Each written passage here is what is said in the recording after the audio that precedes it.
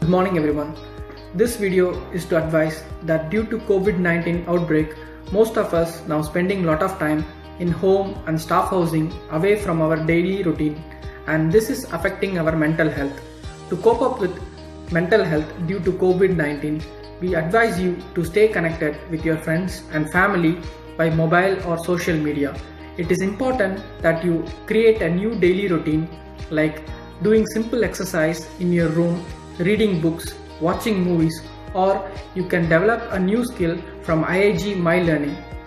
Understand that rumors and speculations can fuel anxiety. To avoid these, we want you to go and look for reliable news sources like Saudi Ministry of Health or World Health Organization. If you find yourself that the news is causing you huge stress, we advise you to limit the intake of news.